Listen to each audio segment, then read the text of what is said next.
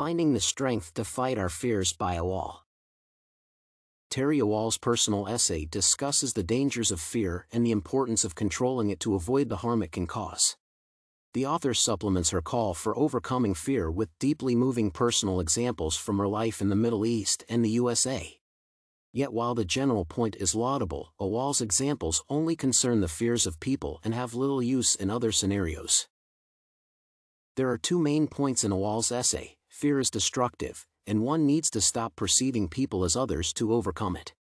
The author speaks of devastation created by fear, whether in depopulated Detroit or the USA in general after September 11.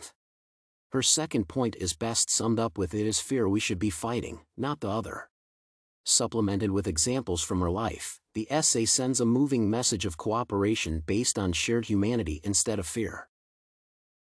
However, this very message undermines the effectiveness of Ahwal's text in helping to fight fear. The advice she offers in her personal story of being afraid of Israeli soldiers is imagining them as people she knew to stop fearing Ahwal. Yet this recipe is of no use if someone fears something other than people. I can speak from experience that fear of the dark can be as harmful as the fear of people, yet it would be hard to apply Ahwal's advice to it. Thus, the essay sends an excellent message of uniting people through understanding rather than dividing them through fear.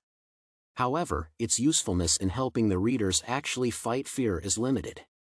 Ahwal's advice works only when applied to the fear of people, yet there are other kinds of fear that are just as harmful, and their object is not possible to relate to and personalize.